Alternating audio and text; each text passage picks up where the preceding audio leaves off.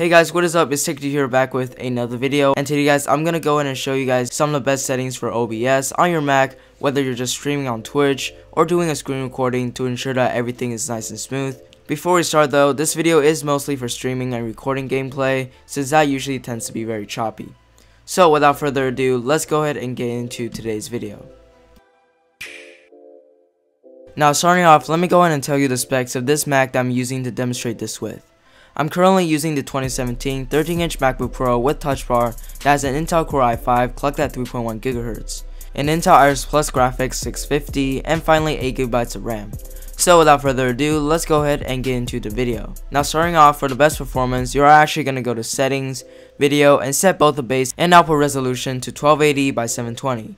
Note that unless your actual monitor is 1280 by 720, you are going to have to change your game settings too down to 1280 by 720 or you're going to be left with a bunch of black space. Now leaving it at 30 FPS is going to help with making a recording or stream less laggy, but generally for gameplay recording and streaming, you do want to have it at 60 FPS. Next, for more complicated stuff, go ahead and select output mode in settings and then click on advanced for the output mode.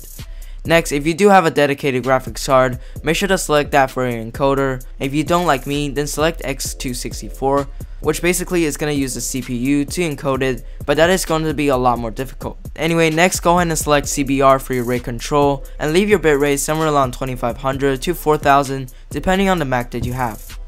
If you do go under 2500 however, you might expect something like this, which isn't great.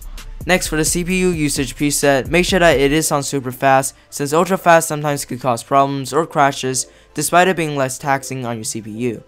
Anyways, after that, you can leave everything else alone. Alright, so guys, thank you so much for watching today's video. If you enjoyed this, please make sure to leave a like, and if you'd like to see more tech tutorials just like this, make sure to subscribe, and stay tuned for the next video.